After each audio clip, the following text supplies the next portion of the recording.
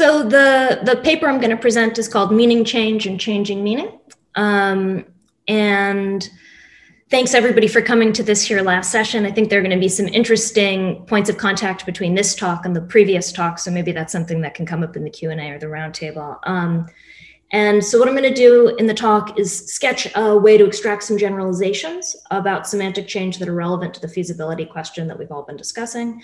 Um, and the whether or not you, well, um,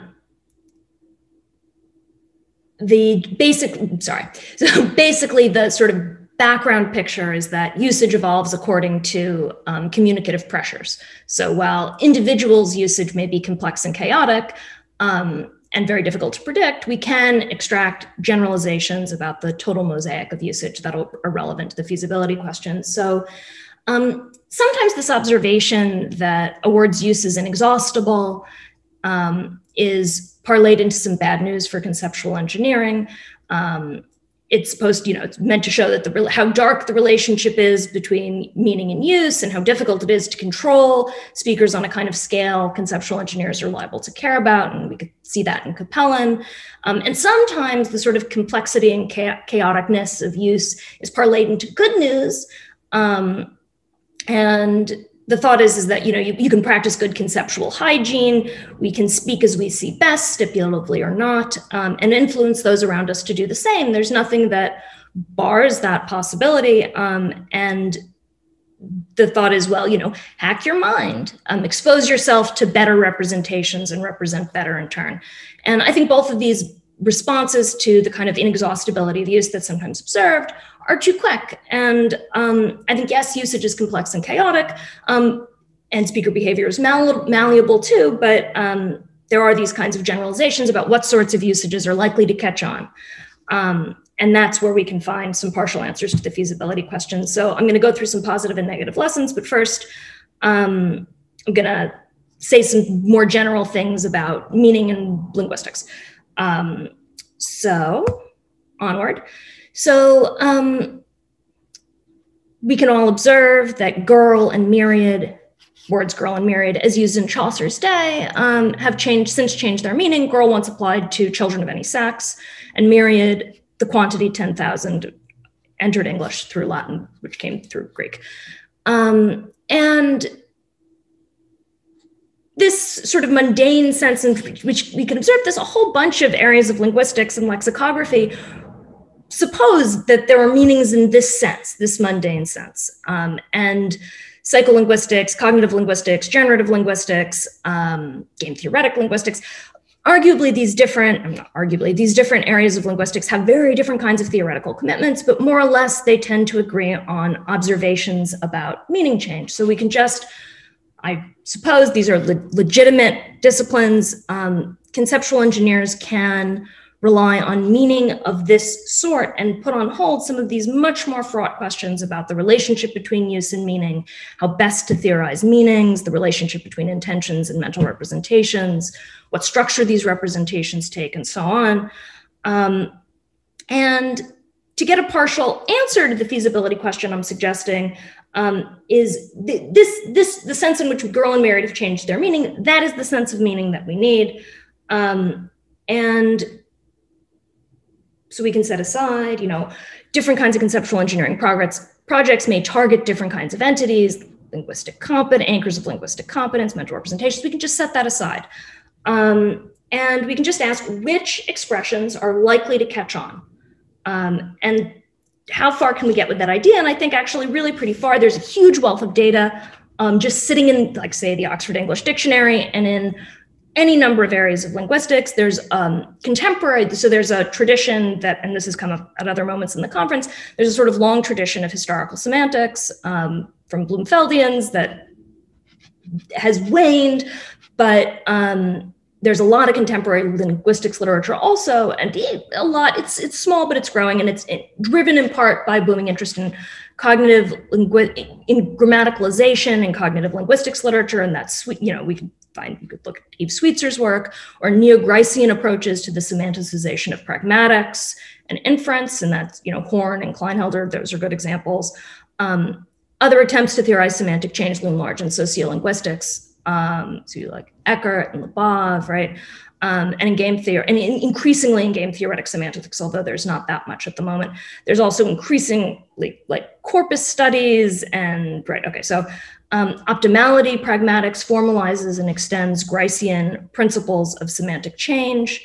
Um, the idea is that um, when we speak, there's a kind of cooperative communicative behavior that's happening. Um, and this model can also be regarded as producing default and presumed interpretations. And so I'm going to draw on some of those ideas um, to suggest a way to approach um, conceptual engineering and the feasibility question um, and some useful illuminate, you know, generalizations. But what I'm going to say is I think I think actually pretty theoretically light. Um, so let's just back up for a second. So as I'm understanding it, so, so we've got the total mosaic of usage. These are all the expressions issued in the head and out loud in doctor's offices and seminar rooms, law rooms, and picnics. Um, and this is just changing all the time, right? The total mosaic of usage just shifts a lot. Um, and conceptual engineers want to alter some band of it. So for example, um, well, so some of the ways it shifted is we talk, you know, there's less uses of typewriter than there used to be and falconry vocabulary. Um, there's less uses of girl meaning child of either sex. In fact, there are very few, except when we're talking about, say, semantic change or reading Chaucer. Um, and there have been some gains. So now we talk, now we use the expression laptop, meaning laptop, and girl, meaning girl, right? And the conceptual engineer hopes to alter the usage of some word meaning something in particular in this mundane sense of meaning. Um, and maybe to shrink the usage of one expression and to replace it with the usage of another in some band of discourse. Um, and this sort of thing isn't all that exotic, right? New theoretical terms are often introduced um, into expert discourse and even among a few friends as you know a joke or nicknaming, right? Um, it's not so hard to do. It's again trickier to figure out what you're likely to catch on. So I think the situation is really not very different from other complex chaotic systems. So we can think about which widgets are going to sell in the economy. So what's going to be this year's hit toy? Um, and economists and marketers think they have some partial ability to predict the answer to that. Um, so likewise, take another complex chaotic system, foot traffic. Um, so here we have on the left like a path of desire where you know lots of walkers take the take an efficient route or people forming a circle around street performers. Now, it might be that, you know, predicting where individual walkers go is a losing, it's a losing battle. It's very hard to do that. Um, but in general, we can come up with some principles. Why? Um, well, because pedestrian foot traffic is sensitive to some underlying principles. Don't look super rude. So, you know, don't stand in front of too many other people if you want to get a good view. Try to get a good view. Minimize the effort you have to take and the distance you're going. So it would be harder to climb over that fence on the bottom left than it would be to just take a slightly less less of a shortcut, but it's an easier road to, to travel. Okay, you guys get the point.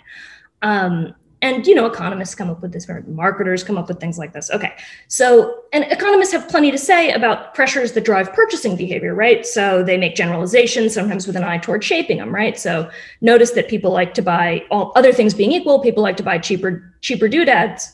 Um, so make a tax on imports if you want to sell you know non non-imported goods we're trying to stimulate the economy. So um, again so we're going to try to extract some generalizations for the conceptual engineer with an eye towards shaping usage. So you can think of usage like foot traffic as reflecting a balance of a variety of communicative pressures.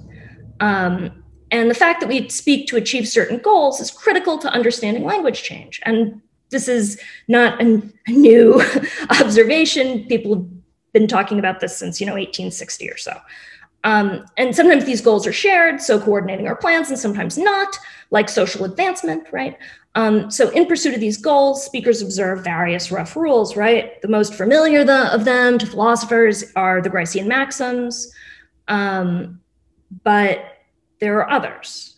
Um, and so, conversational goals aren't just advanced by, you know, saying the right propositions, right? They're advanced by expressing them via the right words. So, um, we could just talk through with some of these sort of pretty commonsensical background um, considerations are. So we like to speak in ways that are convenient, easily done, or we, rather, just on the whole, usage, the broad mosaic of usage reflects, um, includes expressions that reflect a balance between being convenient, you know, easily said, or efficient, have a good ratio of energy expended to the value of the message conveyed, or clear, as in they're unlikely to be misunderstood, or smooth, as in they're unlikely to raise irrelevant considerations that distract from the point, um, or transparent, in that they make clear what, what's being addressed. They're not too, too opaque, too confusing.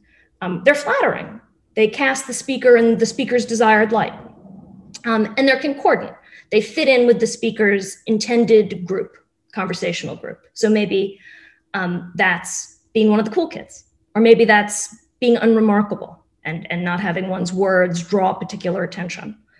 Um, so, can we use these sorts of principles to issue some general, light, commonsensical explanations for some observed trends in language change? I think sure. So, just get you in the mood. Um, the use of niggardly is clearly in decline. It's not a mystery why. It sounds like a slur, right? We tend to avoid words that are going to bring up untoward, predictably bring up untoward feelings or be misunderstood, right? Um, unless, of course, that's exactly what we intend to do. Um, it's not surprising that the word myriad came to mean quite a lot when it originally started out meaning 10,000. Terms for large quantities very often go imprecise in just this way after becoming popular in stock metaphors, like a ton or a lot. Um, it stands to reason that easily pronounced abbreviations over time would be replaced, would replace the longer terms they abbreviate, like car coming, coming to replace carriage. Um, and, you know, language associated with youth culture is popular. Um, people speak in ways they want to be seen, so they try to seem funny or hip or young or right. Yeah, okay. Um, we know all of this. Certain expressions have a tendency to pejorate, acquire more negative meanings, blah, blah, blah. We can think of the euphemism treadmill, um, where the word words for the bathroom have been introduced and successively replaced by terms that no longer have the sort of negative associations they acquired by being used for the bathroom. Um, but there are less obvious examples. Words for older women tend to pejorate, hag and crone. Words for the inexpensive, like cheap, vile, and shoddy, tend to pejorate words for the average, like mediocre, common, and mean. Okay, blah, blah, blah, blah, blah. Um, words on the whole tend to pejorate, get more negative associations than they do tend to ameliorate, get more positive associations. Those are terms that linguists categorizing semantic change use. So it's coincidental that conceptual amelioration um, uses the same word. Okay, so um, so here's so are there some that are going to be relevant to the some such generalizations that we can explain they're going to be relevant to conceptual engineering and i think there are plenty. Um, i'm going to start with some negative lessons. Um, there are plenty more than i've said here but here, here are some. I'm going to start with some negative lessons and then quickly apply them to some of the proposals in the literature to just get a feel for how this goes. And then i'll say some positive lessons. So it's not all bad news. It's just um, i think the proposals that tend to be feasible are going to be a lot less exciting than the ones that philosophers hope for.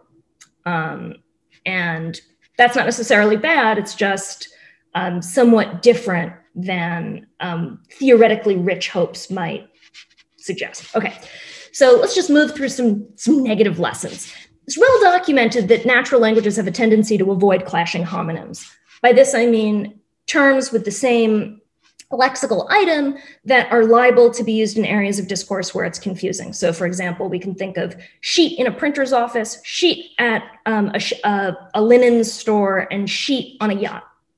Um, you're not going to talk about sheets on a yacht um, in a way where you're expecting to, you know, saliently and transparently communicate talk about bed sheets, unless you're already in the bed sheet conversation. But you're probably going to start by talking about bed sheets. And so this is, you know, you can, there's some corpus data on this and people people write about this. Um, and you can see in natural languages how we there are often lexical changes that go with trying to distinguish. So the difference between brothers and brethren or um, fair mind like is something funny? Well is it funny haha?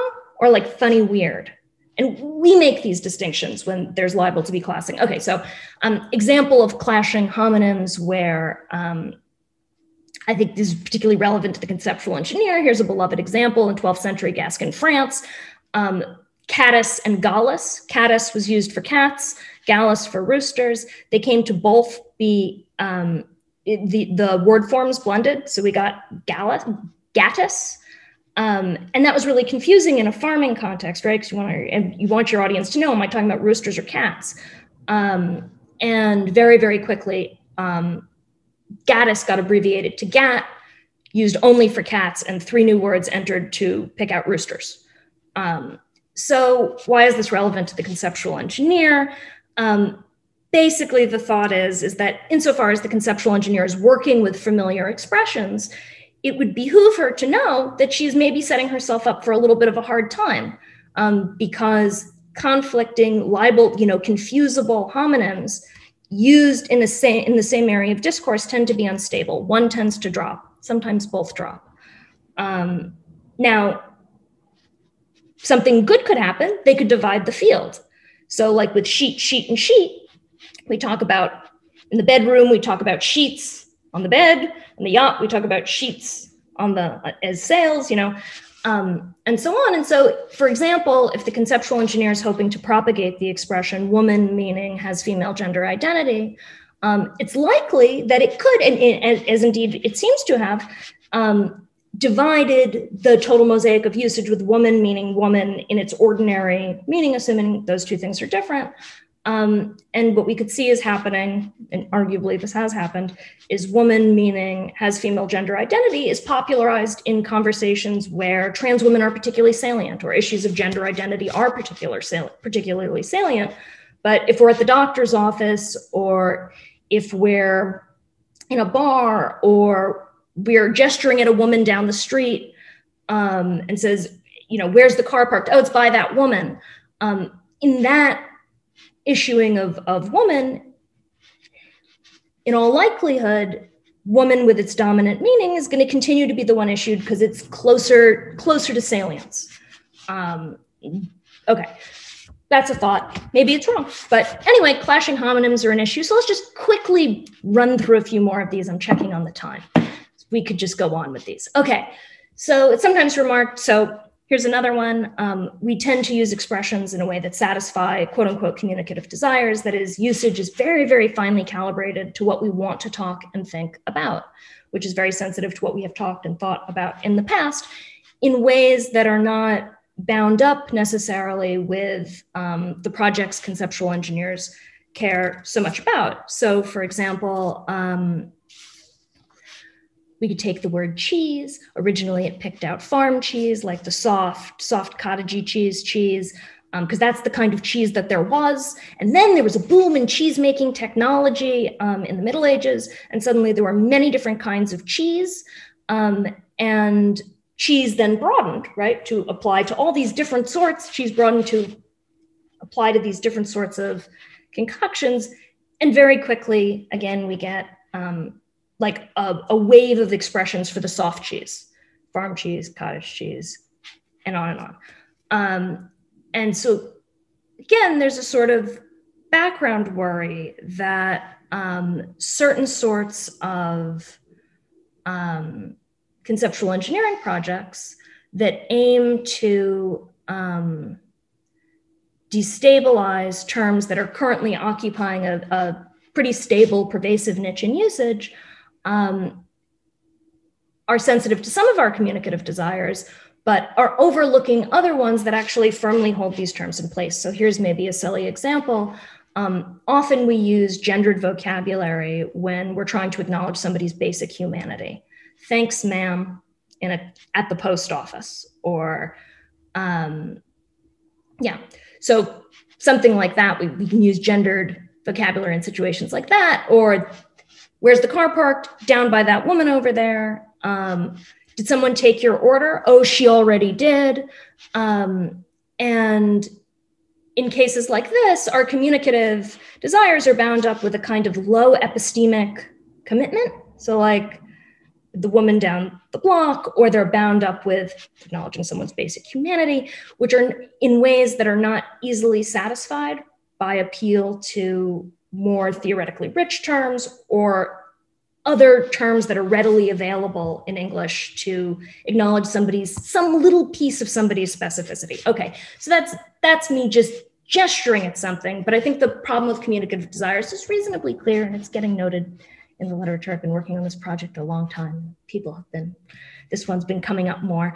Um, so here's another one. Loaded expressions tend to be replaced in usage by less loaded alternatives. By loaded, I mean terms that carry a kind of cognitive baggage or, or freight. So the euphemism treadmill, where we introduce a euphemism for something awkward and then it acquires a negative patina of awkwardness itself. And then we drop it and introduce a shiny new term. And then it too acquires this patina and we drop it.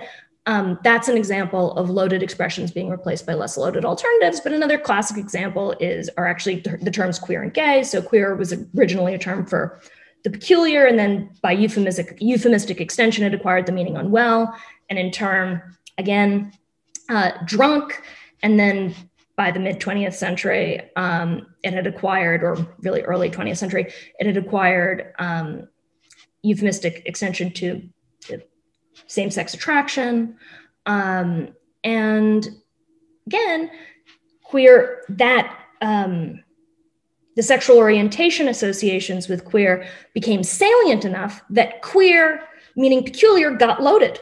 Um, it became using, using, you know, what queer weather we're having triggers potentially in an audience, talk of what queer weather we're having, triggers potentially in an audience a feeling that somebody is trying to stick their neck out and speak a little edgily, or a cluelessness of the present moment, and whatever. And to that extent, it gets avoided use of queer when we're not trying to be distracting, at least in America. I think that it varies in different places. You see this sort of thing fluctuate, but again, this is pretty commonsensical. Um, how is this relevant to conceptual engineers? Well, if I was trying to propagate a term uh, for race, say, uh, or for race or for gender, like Sally Haslanger's, where, um, say, we um, ameliorate Black to mean subordinated on the basis of perceived African ancestry. Um, this expression is going to be loaded in ways that make it not suitable for use, say, at a child's birthday party. We're not going to want to express the proposition or be interpreted as potentially expressing the proposition or thinking the proposition. Happy birthday to your daughter. I hope she grows up to be a proud person, subordinated on the basis of her per- perceived African ancestry. We're not going to want to say that. So Haslanger's terms might gain traction in theoretical discourse, um, but they're unlikely to gain traction in theoretical discourse where, um, in fact, it is at issue what it is to be, say, Black. Um, because we're going to want to turn right. Okay. Um, so here's another one. Um, and I'm going to stop myself soon um, to, to move on with the talk and on to some positive lessons, but this list just keeps, it just keeps going. So um, we have the phenomenon of folk etymology, um, where a term appears to have a particular sort of meaning, gets reinterpreted by hearers that way, and then used that way, and then people um, speak in ways assuming that their audience is going to have particular right.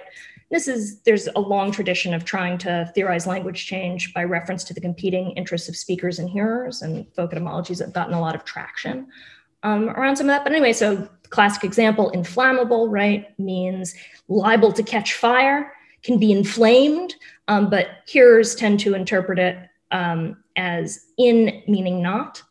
So people think, oh, it's not flammable. And like, you know, I think it was in 1913 that the American Fire Safety Bureau or whatever advised against using this word because, uh oh, fire. Um, and you know there are a million more examples like this. So the thought is is that um, opaque expressions tend to be replaced by more transparent ones ones liable not to be misunderstood. Why? Because terms tend to acquire the meaning associated with what people think they mean um, if it's on a big enough scale. So one way this shows up is if you have terms that are very theoretically loaded when they start getting used in contexts where that background theory is not appreciated um, or is not shared or is forgotten, as in the case of Galen medical vocabulary like sanguine, um, they often acquire a meaning associated with the one that they're used most saliently to communicate. Um, so Galen medical vocabulary, right? Sanguine meant an excess of the blood humor, um, associated with an excess of optimism. Um, mostly now, when we talk about sanguine, pe- people having a sanguine disposition, we're talking about they're optimistic, they're perhaps giddy optimism or something. We're not invoking this sort of larger background theory. Sanguine, in, in Galen's sense, gets used in discussions of Galen. Um, so again, we get a sort of dividing of the total mosaic of usage. So, you know, and philosophers talk about begging the question for God's sakes, you know, why won't students use this correctly? And at a certain point, begging the question has now acquired the secondary meaning. So this is again, okay. We already discussed pejoration. One more thing to say about this before we move on to the positive. This is duly time. Um, is that on the whole, semantic changes are either predictably gradual in ways that I'm about to discuss, or else unpredictably dramatic.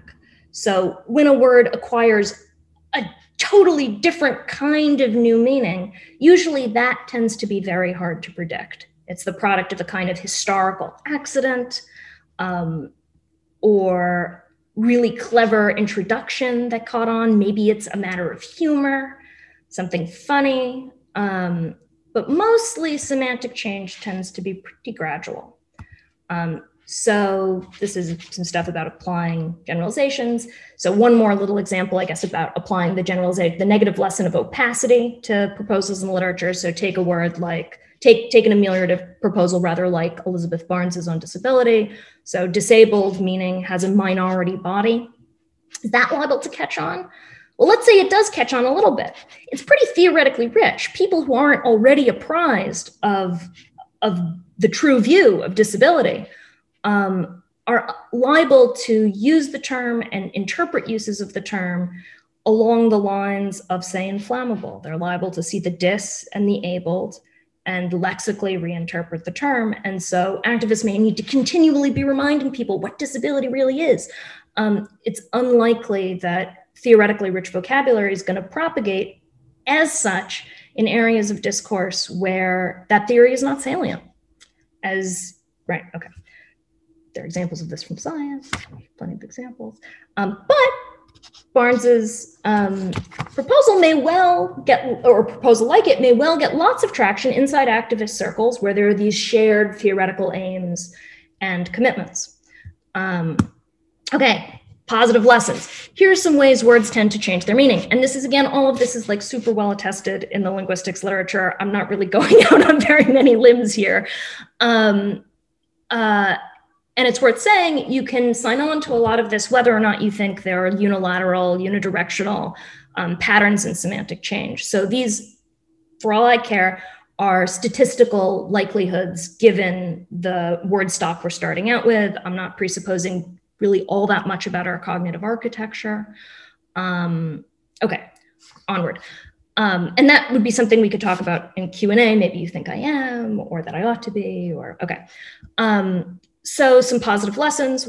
When words tend to change their meaning, very often it's they broaden to a generic. Oil originally was a term for olive oil and then broadened, right? Okay, um, to a more generic sort of oil. Um, oil in general, right? Okay, so very often when terms change their meaning, they broaden to a generic or they narrow to an exemplar. Um, so that's fine, but that's not the sort of thing conceptual engineers tend to hope for. Um, in cases of another sort of way words tend to change their meaning is something that you might call responsive narrowing that neo-Griceans sort of find particularly interesting because um, it involves semanticizing um, an implicature, basically, or that's what they think. So it goes something like this. English didn't used to have a single word for thumb. Thumbs got called the great finger. Um, when and finger didn't use finger just included you know all of them. So this is the great finger the first finger the, you know so on and so forth. Um, and then thumb entered english through german from german. And it very quickly became the case that finger acquired a thumb exclusive meaning where that's still the case. So we can still talk about our fingers um, but we can also use the word finger in contrast to thumbs where thumbs are not fingers in this sense Why did this happen? Well, once thumb had entered English, sort of stood to reason that if somebody didn't use the more specific term thumb when they could have, um, that they were not speaking about thumbs. So there was this conventionalized implicature, right? Okay. Um, and there are lots of examples like of this, like for instance, cow and bull, bitch and dog. Um, and you can imagine there's, you know, if we wanted woman to mean something like Haslanger's proposal, or if we wanted a term to be in standard usage with something like a meaning subordinated on basis of perceived reproductive capacity, um, we might do better rather than introducing woman with that meaning and hoping it propagates to introduce, say, bitch with the opposite meaning, where bitch is a woman who has profited from her perceived reproductive um, capacity. And then we might find ourselves using woman to the exclusion of bitch, and it would be conventionalized. Okay, I'm, I'm just playing. But that seems to me actually somewhat more likely than Haslanger's, is that we could get um, division. Okay, here's so broadening and narrowing. Something that's come up earlier in the conference is this the um, I forget what the word that got used for it. Sometimes people call it bleaching, where a term broadens to the point of being kind of watered down and diluted. So thing in English, awesome in English. Like what does awesome any? What does that mean anymore? Um, nice. Um, or perhaps less less dramatically racist, sexist privilege, um, where terms appear to be acquiring more generic meanings. You think, well, that seems possible, possible, and indeed seems to be happening. So I think that's a um, a kind of case that that seems quite doable. Um, Synonyms have a tendency to differentiate. So if there are two words in a language that really do appear to be true synonyms, usually they'll start acquiring differential associations like trash and garbage, arguably. They're starting to separate. So, you know, one sort of, oh, another sort of proposal with responsive narrowing to sort of get conceptual engineering going, maybe, is you start talking about not just recyclables, but also compost. If you could get people to do that more, you might get trash to narrow just to the stuff that goes in the landfill. Um, just a thought. I don't know. So, I think th- these are kind of proposals that, um, yeah, okay. So, how else do words tend to change their meaning? Well, very often stock metaphors and stock loose speech get semanticized. Um, we've seen some examples of that, like eyes of needles. That was once a metaphor, became a stock metaphor, and now one of the meaning of eye is hole. We talk about the eyes in Swiss cheese, right?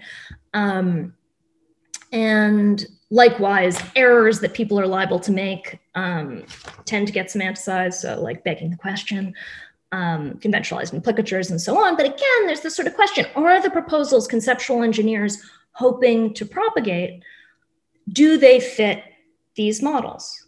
Do they are they introduced as here's a you know here's something that feels metaphorically salient maybe it'll maybe it'll take up because that's definitely a pathway to semantic change and we see tons of that you know from you know deontic vocabulary acquiring modal meanings from you know position you know positionality in space acquiring temporal meanings i mean that's those are some of the things that people that are sort of candidates for unidirectional um, semantic change that are sort of cross linguistically attested and people have sometimes tried to attribute to cognitive architecture whether or not that's true um, and whether or not that's appropriate to do, I don't know. It's complicated. There are a lot of fights about this sort of thing. Um, but we can observe that stock metaphors, salient, there tends to be um, stock metaphors and salient metaphors are more likely to get semanticized. Okay, so positive lessons, again, within small homogenous groups with common concerns in restricted bands of discourse conceptual engineering proposals seem to be much more feasible.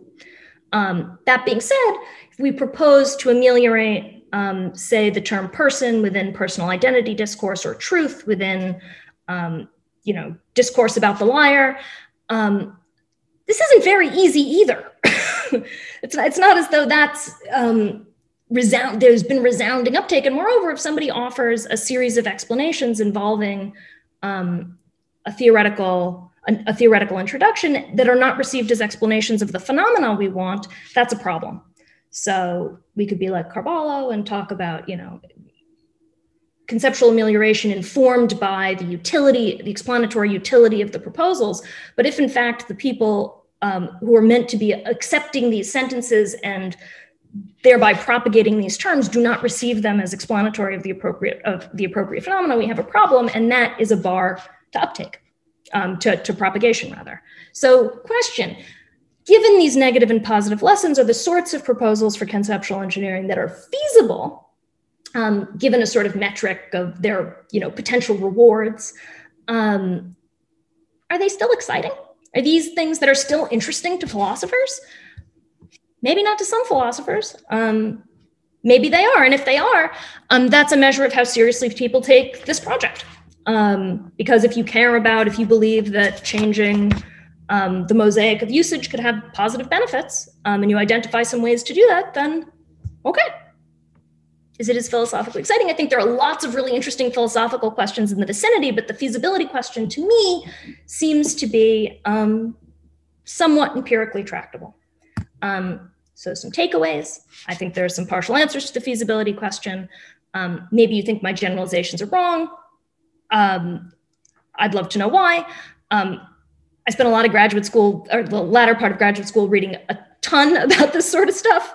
Um, and it just it seems like some of these generalizations show up across, you know, lots of these generalizations show up across languages and are discussed across different areas of linguistics as pretty well attested and accepted. Um, and another takeaway identifying an expression that's more fit for usage, i.e., a better occupant of these, a better satisfier of these many competing communicative pressures identifying expression that's better than the ones already occupying um, usage is actually really hard.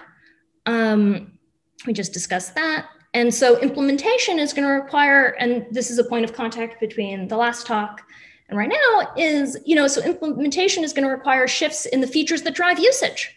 Um, and that's going to include shifts in the physical environment and attitudes, as well as fashions, saliences, our expectations of our hearers, associated inferences in our own mind, what we expect to be associated in others' minds, um, and so on. And so I think this, again, so again, I think the proposals that stand to succeed have somewhat different contours than philosophers tend to hope. And that is my talk, and I'm looking forward to Q&A. Thanks, everybody.